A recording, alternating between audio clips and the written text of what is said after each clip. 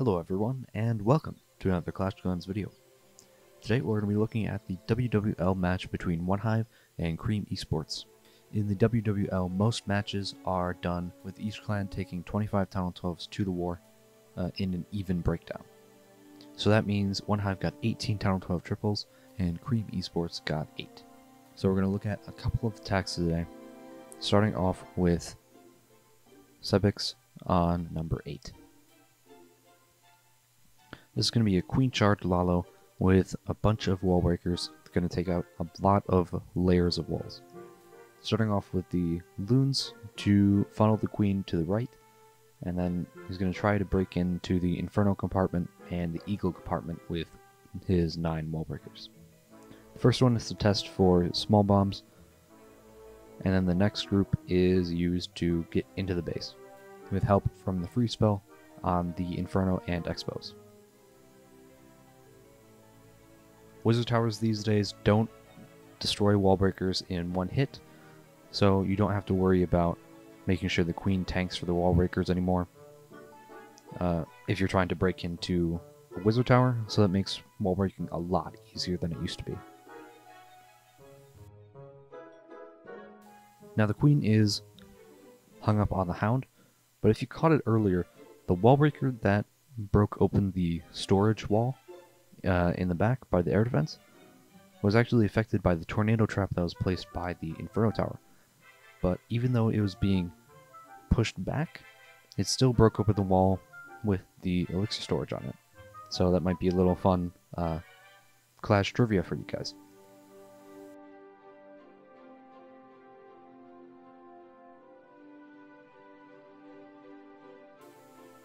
So the Lalo's coming in from 12 o'clock right into the Inferno, and then it's going to go straight into the Town Hall.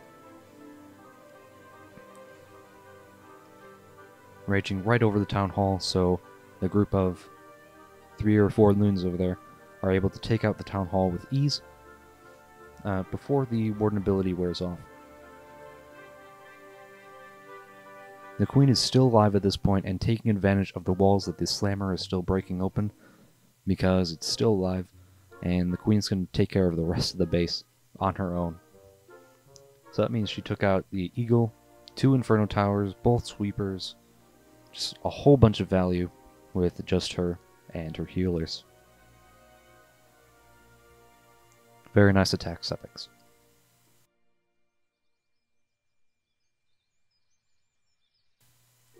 Next, we're going to see the Suilalo by Gaku to take down base number 14. Starts off with the funnel baby dragon loons and the king. It's going to create a huge funnel on this side because there's not very many air targeting defenses that are going to take down these balloons. And he's really trying to get that uh, gold storage and mortar combination. So he's spending a lot of loons on that. And he ends up getting it. So the idea here is to wall break into the eagle compartment and then send the queen directly onto the eagle and then hopefully she's going to grab the enemy queen and the air defense. So it's looking good so far, creating a huge funnel, and hopefully the queen is just going to be able to be dropped right on the corner and get straight to the eagle artillery. So the queen's walking straight in as planned. Giant is going to grab the attention of the X-Bow, giving the Queen a little bit more health than she would have otherwise. So Queen does her job, and now we can move on to the Lalo portion. Lalo's starting from 1 o'clock, going to be going counterclockwise around the base. Turns out it's a Hound and Baby Dragon CC, I'm just going to be able to poison that, and that's not going to be a huge problem for the attack.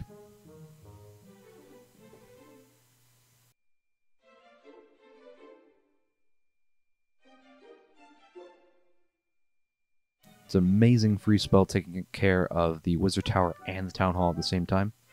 I wasn't even sure that that was possible, really, because of the angle that the Wizard Tower is on. But he's just going to cover the rest of the base in spells because he has plenty of spells left. It's a really high value Sui there. And he takes care of the base. GG.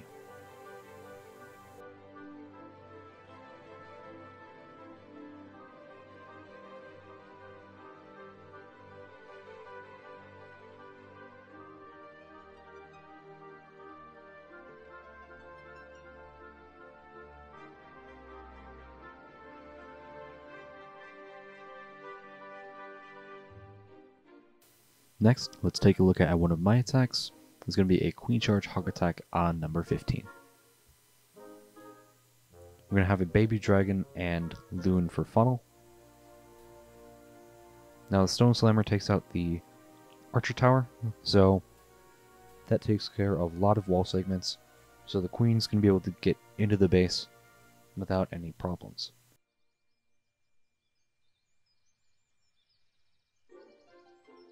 The CC comes out now, and the Queen's can take out the Hound under the Rage spell, so it's going to be super fast.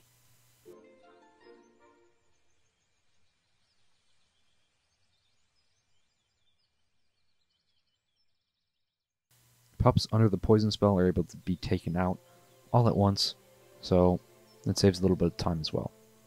Since I didn't need the king for the funnel, we're going to be using him for a little bit of tanking and cleanup very early into the attack, starting at uh, 2 o'clock.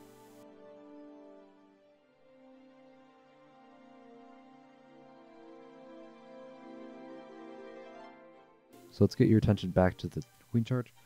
Using a Rage spell and a Freeze spell, were able to take out both of the heroes under the Freeze spell. So the Queen still doesn't have to use the Queen ability. And at this point, the Hogs are placed uh, close to the Town Hall, so then using the Quake spell, we were able to activate the Town Hall and take it out under the Warden ability. So we have two heals for the rest of the base, and we still haven't used one. We're going to use it right over the bomb tower, and we're going to use a couple of hogs on the archer tower to take that out before before the archer tower distracts the pathing of the hogs. Now we try to heal the healers, but the air defense is just a little bit too strong, so we're not going to be able to get the healers healed up to uh, keep the hogs going. That's totally fine. We end on the Tesla farm, but we have lots of cleanup troops, and we have the king still at full health, uh, just walking along to uh, clean up the rest of the base.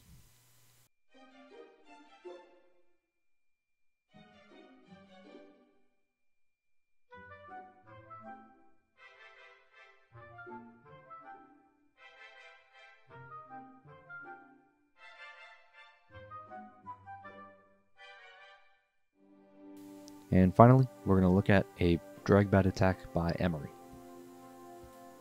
Emery has really done well in this meta because he's been he's been using the dragon attacks for a long time, and this time he's going to use drags and bats. So he starts off with a funnel at the 12 o'clock area, and then and e drags to funnel the dragons into the 2 o'clock area. He starts off with the dragons. He's going to place all the dragons down, then he's going to place a Hound to distract the air defense. So that saves a lot of HP that would have otherwise attacked the dragons.